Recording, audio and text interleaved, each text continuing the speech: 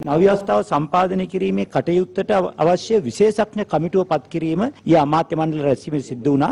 ඒ අනුව සමාජිකයන් නව දෙනෙක්ගෙන් යුත් විශේෂඥ කමිටුවක් ඊයේ දිනේදී නව්‍යවස්ථාව සම්පාදනය කිරීම වෙනුවෙන් අමාත්‍ය මණ්ඩලය පත් කළා. ඒ සභාපති ධූරය දරන්නේ ජනාධිපති නීතිඥ රොමේෂ් සිල්වා මහතා. ඒ කමිටුව කැඳවීමට අවශ්‍ය අරමුදල් අමාත්‍ය මණ්ඩලයෙන් වෙන් කළා අධිකරණ අමාත්‍යවරයාට උපදෙස් දුන්නා. හැකි ඉක්මනින් මේ කමිටුව සමග කටයුතු කරමින් නව ව්‍යවස්ථාවක් සම්පාදනය කිරීමේ කාරණය ආරම්භ කරන්න කියලා නව ව්‍යවස්ථාවක් සම්පාදනය කිරීමේ ක්‍රියාවලියට යම් කාලයක් ගතවන නිසා ව්‍යවස්ථාව හරහා ආණ්ඩුව මුණ දී ඇති දුෂ්කරතාවයන් මගහැර ගැනීමේ අරමුණේ කෙටි කාලීන අවශ්‍යතාවයක් ලෙස විසිවන සංශෝධනයේ ලෙස නව ආණ්ඩුක්‍රම ව්‍යවස්ථා සංශෝධනයක් ඉදිරිපත් කිරීමට අමාත්‍ය මණ්ඩල අනුමැතිය ලැබුණා. එෙහිදී නීති කෙටුම්පත් වරිය විසින් ඉදිරිපත් කරන ලද නිරීක්ෂණත් එය ජනමත විචාරණයකට තුඩු දෙන කිසිම කාරණයක් අඩංගු නොවන බවට නීතිපතිවරයා ඉදිරිපත් කර මතයක් කියන දෙකම දීර්ඝ සාකච්ඡාවට ලක් කරමින් අවසානයේදී එය ගැසට් මගින් ප්‍රසිද්ධ කිරීම සඳහා අධිකරණ අමාත්‍යවරයාට අවසරය ලබා දුන්නා. මෙම 20 වෙනි සංශෝධනයේදී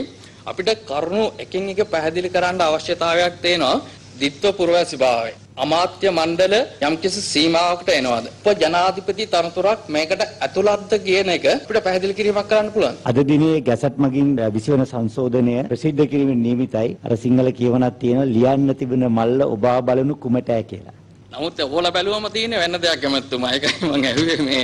ඔයාලා අපි ලියලා බලලම කතා කරු. ඔයාලා බලද්දී වෙන වෙන දේවල් අහුවෙලා අපි වැරදි දේවල් හිතා ගන්න ඕනේ. එතකොට ගැසට් එක නිකුත් කරන්න කාගේ නිර්දේශ මතද ඒක රජ්‍ය මුද්‍රණාලයට අද ගියේ? අමාත්‍ය මණ්ඩලයේ අනුමැතිය මත අධිකරණ ඇමතුමා විසින් තමයි ඒතර ඊයේ අධිකරණ ඇමතුමා විසින් තමයි 20 වන සංශෝධනයේ මෙති මණ්ඩලයට ඉදිරිපත් කළේ. ඒතකොට අමාත්‍ය මණ්ඩලය අනු කමිටුවට යොමු නොකර එදිනම ඒක සම්මත කරා එම අවශ්‍යතාවයක් දැක්කේ නැහැ. නමුත් අලුත් ව්‍යවස්ථාව අනිවාර්යයෙන්ම අනු කමිටුවට යොමු කරයි. මොකද ඒක දැවැන්ත දීර්ඝ කාලින බලපාන දැවැන්ත ලියවිල්ලක්. අනිවාර්යයෙන්ම එය අනු කමිටුවෙත් අදහස් අරගෙන තමයි අමාත්‍ය මණ්ඩලය අවධානයට යොමු කරනවා. ආණ්ඩුක්‍රම ව්‍යවස්ථාවේ සංශෝධන 20 වෙනි එකත් සිද්ධ වෙන්න යන්නේ. මේක කවද්ද මේ සංශෝධනයන් ඉවර වෙන්නේ? මොකද අපේ රටේ ආණ්ඩුක්‍රම ව්‍යවස්ථාව තාම ශක්තිමත් නැද්ද?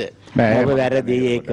ව්‍යවස්ථාව යනු ජනතාවගේ අභිලාෂයන්ගේ ප්‍රතිමූර්තියයි. ජනතාවගේ අවශ්‍ය අවශ්‍යතාවය තමයි ව්‍යවස්ථාවෙන් පෙන්눔 කරන්න ඕනේ. ඒතර ජනතාවගේ අවශ්‍යතාවය කියන එක නැත්නම් හරිම වෙනස් වෙන සුළු දෙයක්. ජනතාව වෙනස් වුණාම ඒ අනුව ව්‍යවස්ථාව වෙනස් වුනේ නැත්නම් ව්‍යවස්ථාවට පවතින්න බැරි වෙයි. අපි කියනවා නෑ අපි හොඳ ව්‍යවස්ථාවක් හදලා තියෙන්නේ මේකේ අකුරක් ආයෙ වෙනස් කරන්න දෙන්නේ ඒ වගේ එකක් නෙවෙයි ව්‍යවස්ථාව කියන්නේ. ව්‍යවස්ථාව කියන්නේ ලෝකයේ ඕනම රටක වෙනස් කළ යුතු වෙනස් කළ හැකි ලියවිල්ලක්. ඒ වෙනස් කිරීම හොඳ ලක්ෂණයක්. වෙනස් නොකර ජනතාව මොන මතේ හිටියත් බම්බු ගහ ගන්න කියලා අපි මේක වෙනස් කරන්නේ නැහැ කියන මතේ ඉන්නවනම් දිනපතා අලුත් වීඩියෝ සහ ප්‍රවෘත්ති නැරඹීමට ඉහත බටන එක ක්ලික් කර සියත TV සබස්ක්‍රයිබ් කරන්න.